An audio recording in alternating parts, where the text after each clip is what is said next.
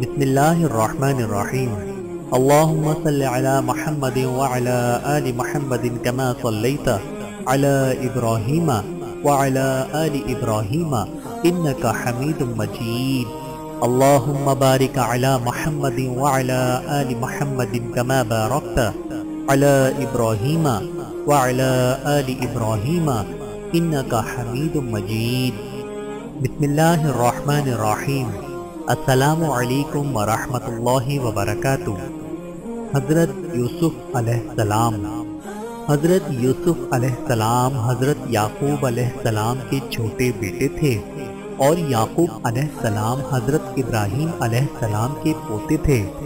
इस तरह हज़रत यूसुफ अलैहिस्सलाम हज़रत इब्राहीम अलैहिस्सलाम के पड़ पोते हुए हज़रत याकूब अलैहिस्सलाम के बारह बेटे थे। और हज़रत यूसुफ अलैहिस्सलाम सबसे छोटे थे, बहुत खूबसूरत थे। बाप उनको बहुत चाहते थे। हज़रत यूसुफ अलैहिस्सलाम ने एक ख्वाब में देखा कि ग्यारह सितारे और चाँद और सूरज मुझे सजदा कर रहे हैं। उन्होंने ये ख्वाब अपने बाप को बताया। बाप ने हज़रत यूसुफ अलैहिस्सलाम को मना कर दिया कि ये ख्वाब अपने सुतेले भाइयों को ना बताएँ। हज़रत यूसुफ अलैहिस्सलाम के सुतेले भाइयों ने मिलकर मशवरा किया कि हमारे अब्बा जान यूसुफ अलैहिस्सलाम को बहुत चाहते हैं और हमको इतना नहीं चाहते, इसलिए यूसुफ को जान से मार दिया जाए। लेकिन उनमें से एक ने कहा कि जान से मत मारो, बल्कि यूसुफ को ऐसे कुएँ में फेंक दो जिसमें पानी ना हो। सबने मिलकर ये बात तय कर ली। ये सब भाई अपने बाप के पास आए और कहा कि आप यूसुफ को हमारे साथ खेलने के लिए भेज। दें उनके बाप हज़रत याकूब अलैहिस्सलाम ने कहा कि मुझे डर है कि कहीं तुम खेल में लग जाओ और कोई भेड़िया जंगल में उसको खा जाए। भाइयों ने कहा कि हम एक ताकतवर जमात हैं, ऐसा कैसे हो सकता है? आखिर बाप ने हज़रत यूसुफ अलैहिस्सलाम को भाइयों के साथ भेज दिया। भाइयों ने उनको साथ ले जाकर एक अंधेरे कुएँ में फेंक दिया और रात को रोते हुए घर वापस आए और कहा कि, अब्बा जान, हम आपस में दौड़ लगा रहे थे और यूसुफ हमारे सामान के पास बैठा था कि एक भेड़िया आया और उसको खा गया। सबूत के लिए एक कुर्ता खून लगाकर बाप को दिखा दिया। बूढ़े बाप, क्या करते? सबर किया, खामोश हो गए लेकिन बेटे की जुदाई में रोते रहे। जिस कुएँ में हज़रत यूसुफ अलैहिस्सलाम को फेंका था, उसके करीब ही एक काफला आया और उन्होंने पानी निकालने के लिए डोल कुएँ में डाला। देखा कि एक खूबसूरत लड़का कुएँ में है।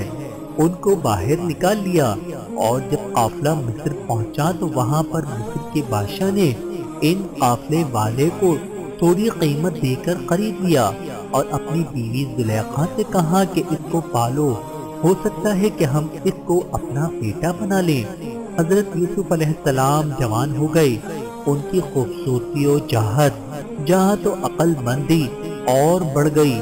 जुलेखा अज़ीज़ मिस्र की बीवी इन पर फरिश्ता हो गई और उनको इनके नफ्स की जानिब से फुसलाने लगी। एक रोज उसने कमरे के सारे के सारे दरवाजे बंद कर दिए। हज़रत यूसुफ अलैहिस्सलाम ने ये हालत देखी तो खुदा से पनाह मांगी और दरवाजे की तरफ़ भागे। जुलेखा पीछे से आपकी कमीज पकड़ ली, जिससे कमीज फट गई। इस वक्त अज़ीज़ मिस्र यानी जुलेखा का शौहर भी दरवाजे पर आ गया। जुलेखा ने उल्टा इल्ज़ाम हज़रत यूसुफ अलैहिस्सलाम पर लगाया और अपने कावन से कहा कि ये शख्स तेरी बीवी की बेआबरूई करना चाहता था। जिसकी सजा इसको मिलनी चाहिए। हज़रत यूसुफ अलैहिस्सलाम ने कहा, मैं बेगुनाह हूँ, बल्कि ये औरत मुझको फुसलाने की कोशिश कर रही थी, मगर खुदा ने मुझको इससे बचा लिया। आखिर ये मामला काजी के पास पेश हुआ। काजी ने हज़रत यूसुफ से सफ़ाई के लिए गवाह तलब किए। हज़रत यूसुफ ने अज़ीज़ मिस्र के खानदान के एक मासूम और नन्हे बच्चे की तरफ़ इशारा किया कि ये इस वक्त मौजूद था। ये सच्ची गवाही देगा। नन्हे बच्चे ने कहा कि अगर कमीज आगे से फटी हुई है तो यूसुफ मुजरिम है। और अगर कमीज पीछे से फटी हुई है तो यूसुफ सच्चे हैं। और जुलेखा झूठी है। जब हज़रत यूसुफ सलाम का कुर्ता देखा गया तो वो पीछे से फटा था। अज़ीज़ मिस्र ने हज़रत यूसुफ से कहा कि इस बात को जाने दो। और जुलेखा से कहा कि तू माफ़ी मांग। हकीकत में तू ही कसूरवार है। औरतों की दावत, इस वाक़े की खबर सारे मिस्र में फैल गई और औरतें आपस में बातें करने लगी कि जुलेखा अपने गुलाम को चाहती है। जब जुलेखा को इसका इल्म हुआ तो उसे अपनी बदनामी का ख्याल आया। उसने तरकीब सोची, वो ये कि उसने मिस्र की औरतों की दावत की। और सबके हाथों में एक एक छुरी और एक एक फल दे दिया। और इसी वक्त हज़रत यूसुफ सलाम को वहाँ ले आई। औरतों ने जब हज़रत यूसुफ सलाम के हौसन जमाल और खूबसूरती को देखा तो वो सब अपने होश में ना रही और छुरियों से बजाय फलों के अपने हाथों को काट लिया और कहने लगी, वाकई, ये कोई इंसान नहीं, फरिश्ता है। जुलेखा ने उन औरतों से कहा कि ये वही शख्स है कि जिसके लिए तुम मुझे मलामत करती हो। मैं हकीकत में इसको चाहती हूँ। अगर इसने मेरी मोहब्बत को ठुकरा दिया तो मैं इसको कैद करा दूँगी। हज़रत यूसुफ सलाम जेल में। हज़रत यूसुफ सलाम को जब इसका इल्म हुआ तो उन्होंने अल्लाह ताला से दुआ की अल्लाह, तू ही मुझको बचा सकता है। अगर मैं इन औरतों के फरेब में आ गया तो मैं जाहिलों में से हो जाऊँगा। इससे ये बेहतर है कि मुझे कैद खाने में डाल दिया जाए। अल्लाह ताला ने हज़रत यूसुफ सलाम की दुआ कबूल की और वो जेल में डाल दिए गए। हज़रत यूसुफ सलाम से पहले जेल में दो कैदी और भी थे, एक शाही बावर्ची और दूसरा बादशाह को शराब पिलाने वाला साकी। इनके खिलाफ इल्ज़ाम था कि उन्होंने बादशाह को जहर देने की कोशिश की है। हज़रत यूसुफ सलाम जेल में कैदियों को अल्लाह ताला की बातें बताते रहे और खुदा का पैगाम पहुंचाते रहे। एक दिन ये दोनों कैदी हज़रत यूसुफ सलाम के पास आए और उन्होंने कहा कि हमने एक अजीब ख्वाब देखा है। साकी ने कहा, मैंने देखा है कि बादशाह को अंगूर की शराब पिला रहा हूँ। बावर्ची ने कहा, मैंने देखा है कि मेरे सर पर रोटियाँ हैं और परिंदे उनको नोच नोच कर खा रहे हैं। ये ख्वाब बयान करने के बाद उन्होंने हज़रत यूसुफ सलाम से इसकी ताबीर पूछी। हज़रत यूसुफ सलाम ने बताया कि साकी तो जेल से छूट जाएगा और फिर बादशाह की मुलाजमत में जाकर उसको शराब पिलाएगा और बावर्ची को सूली पर चढ़ा दिया जाएगा। और उसकी लाश को जानवर खाएँगे। ऐसा ही हुआ। अल्लाह ताला ने साकी को रहा करा दिया और बावर्ची को सूली हो गई। हज़रत यूसुफ अलैहिस्सलाम इनके बाद भी सालों जेल में रहे, लेकिन किसी को उनकी रिहाई का ख्याल न आया। इत्तेफाकन एक मरतबा मिस्र के बादशाह ने ख्वाब में देखा कि सात दुबली गायें, सात मोटी गाय को खा रही हैं। और सात हरी और सात सूखी हुई बालें देखी।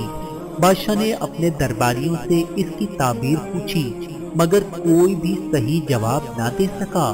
इस मौके पर साकी को याद आया कि उसने अपना ख्वाब हज़रत यूसुफ से पूछा था और आपका जवाब बिल्कुल सही हुआ था। उसने कहा कि जेल में एक शख्स है जो ख्वाब की सही ताबीर बयान करता है। बादशाह से जिसको अज़ीज़ मिसर कहते थे, इजाज़त लेकर वो जेल गया और हज़रत यूसुफ से सारा वाकया बयान किया।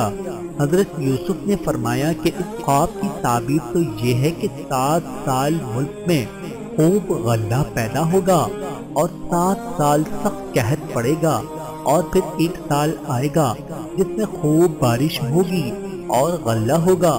उस शख्स ने बादशाह को जाकर ये खबर सुनाई। तो उसने कहा कि हज़रत यूसुफ को बुलाया जाए।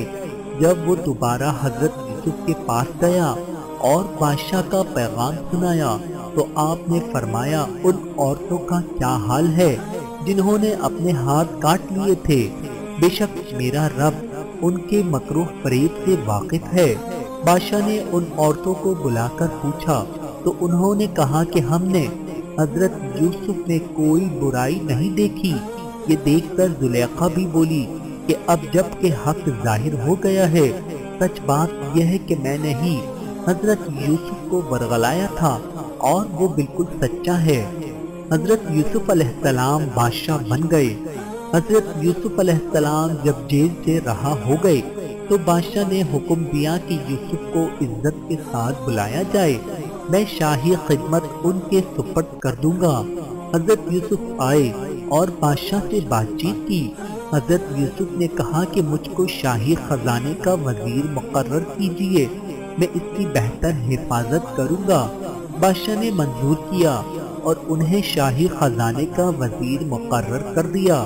आखिरकार वो कहत का जमाना आ गया, जिसका बादशाह ने ख्वाब देखा था और इसका असर इस जगह भी पहुँचा जहाँ हज़रत यूसुफ के वालिद और भाई भी रहते थे।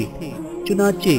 हज़रत याकूब सलाम ने अपने बेटों को गल्ला लाने के लिए मिस्र में हज़रत यूसुफ के पास भेजा। जब हज़रत यूसुफ के भाई आए तो हज़रत यूसुफ ने उनको पहचान लिया और भाई हज़रत यूसुफ को नहीं पहचान सके। हज़रत यूसुफ ने उनको गल्ला दिया और कहा कि अगली दफ़ा आओ तो अपने दूसरे भाई को भी साथ लेकर आना, वरना मैं तुमको गल्ला नहीं दूँगा। और अपने मुलाजमीन से कह दिया कि जो कीमत उन्होंने गंदे की दी है, वो भी चुपके से उनके सामान में रख दो, ताकि वो फिर मिस्र आए। जबकि लोग अपने शहर कुरान पहुँचे तो अपने बाप हज़रत याकूब सलाम से कहा कि, अब्बा जान अब के हमारे साथ भाई को भेजिए, वरना हमको गल्ला नहीं मिलेगा और हम इसकी खूब हिफाजत करेंगे। जब उन्होंने अपना असबाब खोला और इतनी सारी रकम देखकर बहुत खुश हुए। फिर बाप से कहा कि देखिए शाह मिस्र ने हमारी रकम भी वापस कर दी है, आप हमारे साथ भाई को ज़रूर कर दें। हम खूब हिफाजत करेंगे और हमको सामान भी ज़्यादा मिलेगा। हज़रत याकूब सलाम ने कहा कि जब तक तुम अल्लाह का अहद मुझको ना दो कि इसकी हिफाजत करोगे, इसको सबके साथ रखोगे उस वक्त तक मैं इसको तुम्हारे साथ नहीं भेजूँगा। आखिरकार सब भाइयों ने अहद किया। हज़रत याकूब सलाम ने उनको नसीहत की कि तुम सब एक दरवाजे से दाखिल मत होना। आखिर जब ये सब अलहदा अलहदा दरवाजों से दाखिल हुए तो हज़रत यूसुफ सलाम ने अपने सगे भाई बुनियामीन को बताया कि मैं तुम्हारा सगा भाई हूँ। और मैं तुमको अपने पास रखूँगा। आखिर जब उन सब का सामान तैयार हो गया तो हज़रत यूसुफ सलाम ने अपना एक बर्तन अपने सगे भाई के सामान में चुपके से रखवा दिया और ऐलान हुआ कि शाही कटोरा गुम हो गया है। जिसने लिया हो, वो दे दे। इसको एक ऊँट गल्ला इनाम में दिया जाएगा। सब भाइयों ने इनकार किया बादशाह के आदमियों ने कहा कि जिसके सामान से निकले, उसको रोक रखें। उसकी यही सजा है, हमारे मुल्क का भी यही कानून है। फिर तमाम भाइयों की तलाशी ली गई। आखिर यामीन के सामान में से वो कटोरा निकला। इस तरह हज़रत यूसुफ सलाम ने अपने भाई यामीन को अपने पास रोक लिया। भाइयों ने देखा तो कहने लगे, इसका भाई भी चोर था। हज़रत यूसुफ अलैहिस्सलाम ने सब कुछ सुना। और खामोश रहे। अब सब भाइयों ने मिलकर हज़रत यूसुफ अलैहिस्सलाम से दरख्वास्त की कि इसका बाप बहुत बूढ़ा है, उस पर रहम कर उसे छोड़ दीजिए और उसकी जगह हम में से किसी को पकड़ लीजिए। हज़रत यूसुफ अलैहिस्सलाम ने फरमाया, अल्लाह की पनाह जो चोर को छोड़कर बेगुनाह को पकड़ूं, जब ये लोग बिल्कुल मायूस हो गए तो सबने मिलकर मशवरा किया कि अब क्या करना चाहिए। तो सबसे बड़े ने कहा, तुमने अल्लाह की कसम खाकर अपने बाप को यकीन दिलाया था कि इसको ज़रूर वापस लाओगे। फिर यूसुफ के साथ हमने जो हरकतें की, वो तुमसे छुपी हुई नहीं है। इसलिए मेरी तो हिम्मत नहीं कि बाप को मुँह दिखाऊँ, या खुद हाजिर होने की इजाज़त दें, या अल्लाह कोई दूसरी सूरत पैदा कर दे। तो और बात है, तुम लोग जाओ और जो कुछ हुआ है, ठीक ठीक, अपने बाप से बयान कर दो। अगर वो अपनी तसल्ली करना चाहे तो इस गाँव के लोगों से पूछ लें कि जहाँ हम ठहरे थे और इस काफले से मालूम कर ले जिसके साथ हम आए हैं। इस मशवरे के बाद ये लोग घर पहुँचे और वालिद साहब को तमाम किस्सा सुनाया। उन्होंने सुनते ही फरमाया, तुम्हारे दिलों ने ये बात धड़ ली है। बहरहाल, सबर अच्छा है। उम्मीद है कि अल्लाह हम सबको एक जमा जमा कर देगा। वही खूब जानता है कि क्या हो रहा है और उनसे दूसरी तरफ़ रुख कर लिया।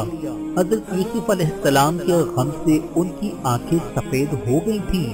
यूसुफ के भाइयों ने कहा कि, अब्बा जान, आप तो यूसुफ को याद करते हुए भूल जाएँगे और जान दे देंगे। उन्होंने फरमाया, मैं अपनी शिकायत तो अल्लाह से करता हूँ और मैं ऐसी बातें जानता हूँ जिनकी तुम्हें खबर नहीं। जाओ, यूसुफ और उसके भाई को तलाश करो। वो मिस्र ही में कहीं ना कहीं मिल जाएँगे। अल्लाह की रहमत से नाउमीद होने की कोई वजह नहीं। हज़रत यूसुफ सलाम की भाइयों से मुलाकात। अब एक बार फिर सब भाई मिलकर मिस्र पहुँचे। हज़रत यूसुफ सलाम से घर वालों की बुरी हालत बयान की। और कहा कि हम अपने साथ बहुत थोड़ा सामान लाए हैं, मगर चाहते हैं कि आप पूरा पूरा गल्ला दें। हज़रत यूसुफ ने अपने घर का ये हाल सुना तो बेताब हो गए। उनसे रहा ना गया और उन्होंने अपने भाइयों से कहा, तुम जानते हो कि तुमने यूसुफ और उसके भाई के साथ क्या किया है? भाइयों ने निहायत ताज्जुब और हैरानी के साथ पूछा कि कहीं आप ही तो यूसुफ नहीं। आपने फरमाया हाँ मैं ही यूसुफ हूँ और ये मेरा भाई है। अल्लाह ने हम पर बड़ा एहसान किया। बेशक जो शख्स नेक ज़िंदगी बसर करता है और सबर से काम लेता है, अल्लाह उसका बदला देता है। जब तमाम भाइयों को यकीन हो गया कि जिसके दरबार में हम इस वक्त खड़े हैं, हमारे भाई यूसुफ हैं तो सबने मिलकर अपने गुनाहों का इकरार किया। आपने फरमाया, तुम कोई फ़िक्र ना करो, तुम पर कोई इल्ज़ाम नहीं। अल्लाह तमाम गुनाहों को माफ़ करे। वही सबसे ज़्यादा रहम करने वाला है। जाओ, मेरा कुर्ता मेरे बाप के चेहरे पर डाल दो। उनकी बिनाई लौट आएगी। और फिर सबको यहाँ ले आओ। इधर काफिला मिस्र से रवाना हुआ और उधर हज़रत याकूब ने अपने घर वालों को ये खुशखबरी दी। कि मुझे यूसुफ की बू आ रही है। उन्होंने सुना तो कहा कि तुम्हारे सर पर एक ही खपत सवार है। आखिर काफला आ गया। हज़रत यूसुफ का कुर्ता उनके सामने रखकर तमाम हालात सुनाए। तो उन्होंने घर वालों से कहा, देखो, मैंने तुमसे नहीं कहा था। आखिर सब बेटों ने मिलकर आपसे गुनाहों की माफ़ी मांगी और मिस्र को चल दिए। हज़रत यूसुफ से मुलाकात हुई। तो उन्होंने माँ बाप को अपने पास ठहराया और कहा, खुदा चाहे तो मिस्र में अमनो आराम के साथ रहिए। फिर उनको अपने साथ तख्त पर बिठाया। सबके सब भाई शाही आदाब बजा लाए। आपने फरमाया, ये मेरे ख्वाब की ताबीर है। अल्लाह ने उसको सच कर दिखाया। उसने मुझ पर बड़ा एहसान किया, जो मुझे कैद से छुड़ाया। और शैतान ने जो फसाद मेरे और मेरे भाइयों के दरमियान डाल दिया था, आप सबको देहात बयाबान से यहाँ ले आया। बेशक मेरा रब खैर की हिकमत जानता है। ऐ मेरे परवरदिगार, तूने मुझे हुकूमत दी, बातों का मतलब समझा दिया। ऐ जमीनों आसमान के पैदा करने वाले खुदा, तू ही दुनिया और आखरत में मेरा काम बनाने वाला है। मुझे मुसलमान ही मारना और नेक बंदों के साथ मिला देना। गर्ज एक अरसे तक हज़रत यूसुफ अल्लाह के बताए हुए कानून के मुताबिक मिस्र में हुकूमत करते रहे, लोगों को अल्लाह की तरफ़ बुलाते रहे, बुराइयों से रोकते रहे, भलाइयों को फैलाते रहे, मुल्क के मिस्र को अच्छाइयों से भर दिया और बिलाखिर अल्लाह के पास चले गए। यानी आपकी वफात हो गई और आप मिस्र में दफन हैं। देखिए, हज़रत यूसुफ अलैहिस्सलाम को भाइयों की वजह से कैसी कैसी तकलीफें उठानी पड़ी।